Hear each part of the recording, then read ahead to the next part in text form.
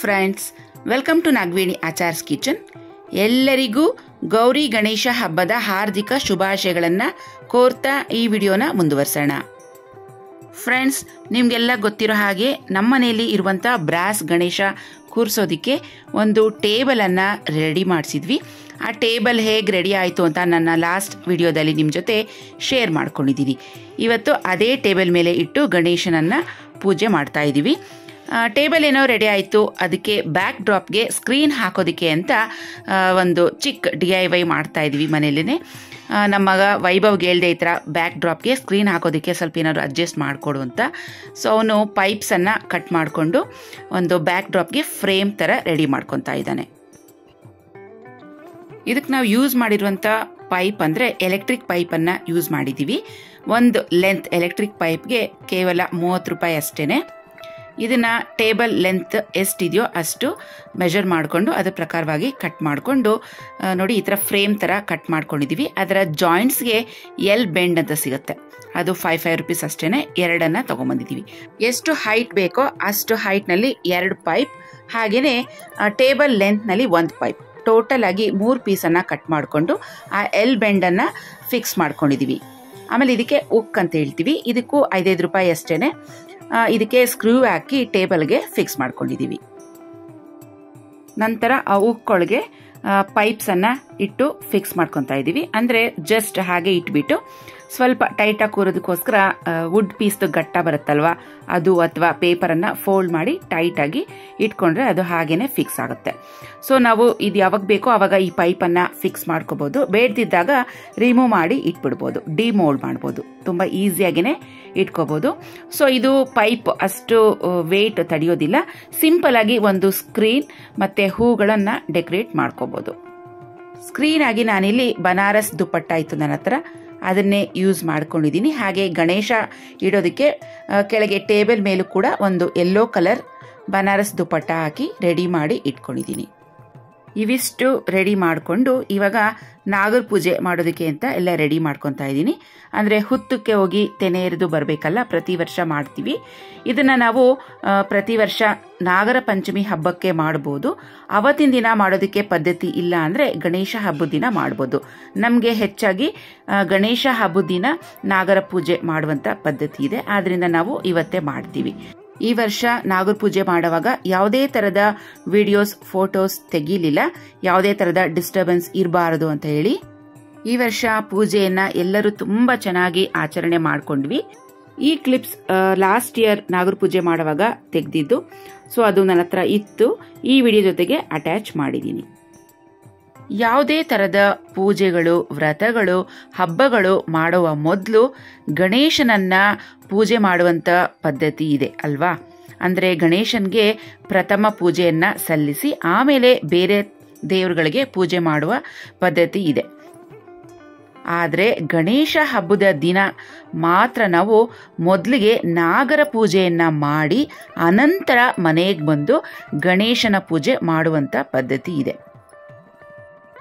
ಹುತ್ತಕ್ಕೆ ತೆನೆ ಎರೆದಿದಾಯಿತು. ಪೂಜೆ ಎಲ್ಲ ಮಾಡಿದ ನಂತರ ಕೊನೆಯಲ್ಲಿ ಮೂರು, ಐದು ಅಥವಾ ಒಂಬತ್ತು ಜನ ಮುತ್ತೈದರಿಗೆ ಅರಿಶಿನ ಕುಂಕುಮವನ್ನು ಕೊಡಬೇಕು. ನಾನೀಗ ಐದು ಜನಕ್ಕೆ ಅರಿಶಿನ ಕುಂಕುಮ ಕೊಟ್ಟಿದ್ದಾಗಿದೆ ಇವಾಗ ಪೂಜೆ ಸಾಮಗ್ರಿಗಳು ಏನೇನು ತಂದಿದ್ವೋ ಅದನ್ನೆಲ್ಲ ತೆಗೆದಿಟ್ಕೊತಾ ಇದ್ದೀನಿ. ಹಾಗೆಯೇ ಸ್ವಲ್ಪ ಹುತ್ತದ ಮಣ್ಣನ್ನು ತಗೊಂಡು ಅದನ್ನು ಕಿವಿಗೆ ಹಚ್ಕೊಳ್ಳೋದ್ರಿಂದ ಯಾವುದೇ ಥರದ ಕಿವಿ ನೋವಾಗಲಿ, ಯಾವುದೇ ಥರದ ದೋಷಗಳು ಬರೋದಿಲ್ಲ.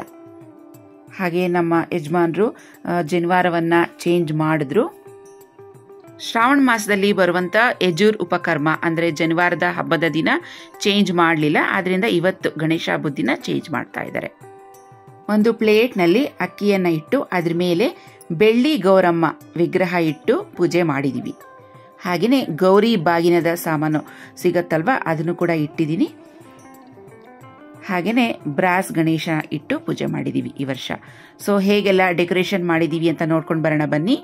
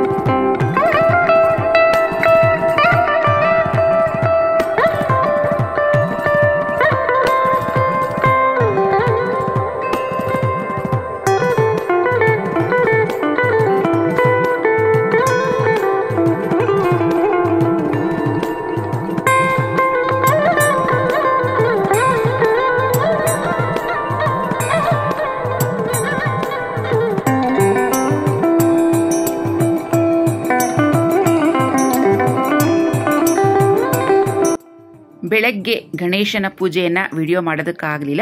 ಇದು ಸಂಜೆ ಪೂಜೆ. ಸೊ ಎಲ್ಲ ಕೆಲಸಗಳು ಮುಗ್ದಿದೆ. ಈಗ ಸ್ವಲ್ಪ ಫ್ರೀ ಆಗಿದ್ದೀನಿ ಸಂಜೆ ಆರು ಗಂಟೆ. ಇವಾಗ ಸಂಜೆ ಪೂಜೆ ಮಾಡಬೇಕಲ್ಲ ಮತ್ತೊಂದು ಸಾರಿ ಅರ್ಶಿನ, ಕುಂಕುಮ, ಹೂ, ಅಕ್ಷತೆಗಳನ್ನು ಸಮರ್ಪಿಸಿ ಗಣೇಶನ ಪೂಜೆಯನ್ನು ಸಂಜೆ ಪೂಜೆ ಮಾಡ್ತಾ ಇದ್ದೀನಿ.